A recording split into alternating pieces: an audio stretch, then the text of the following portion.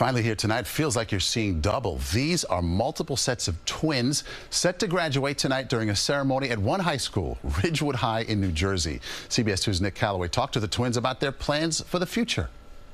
The stage is set for the RHS class of 2024. 30 of the grads have one thing in common. Actually, no, I never realized there was so many twins. Would you believe of Ridgewood's 419 graduating seniors, there are 15 sets of twins.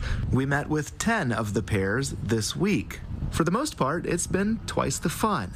I would say the best thing is always knowing someone's there for you and going through the same experiences at the same time. Renee Peters and her twin sister Juliet see eye to eye on that.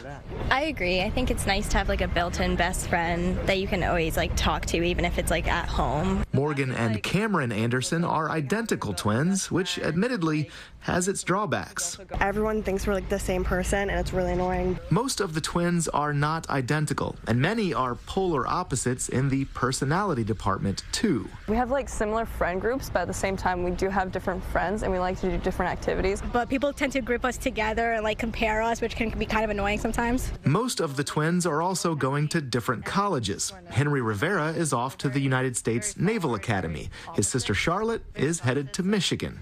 I think I'll miss him and I'll miss having like a buddy.